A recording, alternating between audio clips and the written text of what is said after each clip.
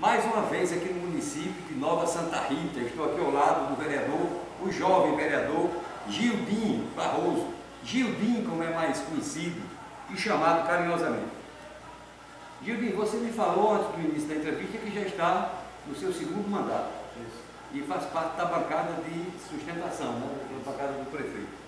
É como você avalia, iniciando essa entrevista, é, o, a atual gestão, é, claro que de forma imparcial, mesmo você sendo é, da situação, mas imparcialmente falando, qual a sua avaliação desses 10 meses de gestão? É, primeiramente, boa tarde, é, agradecer pelo espaço. É, a gente está no início de gestão, mas com os pés no chão, é, os pagamentos em dias, do funcionamento público, dos contratados, é, dos fornecedores do nosso município, tá tudo em dias, tudo em ordem. Questão da saúde, fazendo o possível para estar tá, é, dando conta das demandas do nosso município.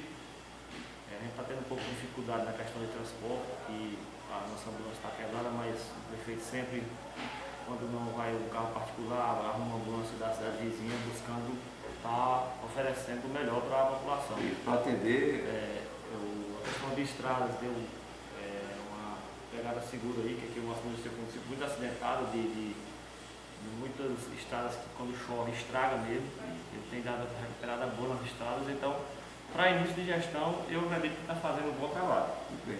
É, Gildinho, você que apesar de jovem, mas você conhece bem, já é vereador pela segunda vez e conhece os problemas aqui do município de Nova Santa Rita.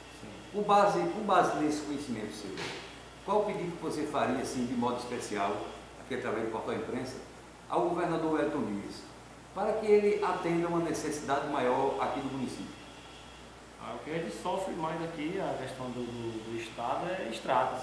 A gente, para se locomover aqui para os municípios vizinhos, é um sofrimento. É Isso é uma vida, é um sofrimento eterno, na verdade. Ele sempre está prometendo aí para a gente, mas a gente sabe a dificuldade das estradas estaduais aqui. Se você vai aqui em Peguarentino, a bagaceira de estrada está aí. Vai, vai em Queimaranova, como eu fiz essa semana, não tem estrada.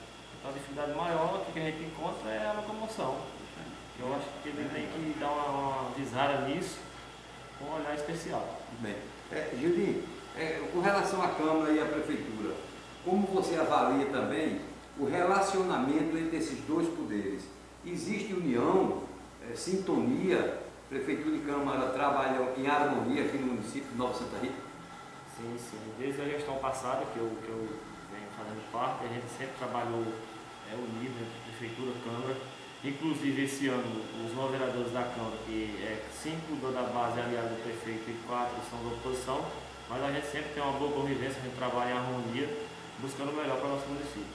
Muito bem, então vamos aproveitar ainda, Gildi, aqui o, o, o espaço do Portal Imprensa para você, uma mensagem sua, né, em nome do seu gabinete, o gabinete do vereador Gildi, que duas vezes eleito pela vontade soberana desse povo maravilhoso uma mensagem, vereador, para um futuro bem melhor, que a gente saia também dessa crise de pandemia, enfim. Qual a sua mensagem para esse povo maravilhoso? É, primeiramente, pedir a Deus né, que nos abençoe com saúde. A gente tem passado um momento difícil, mas estamos superando, estamos levando a vida aí.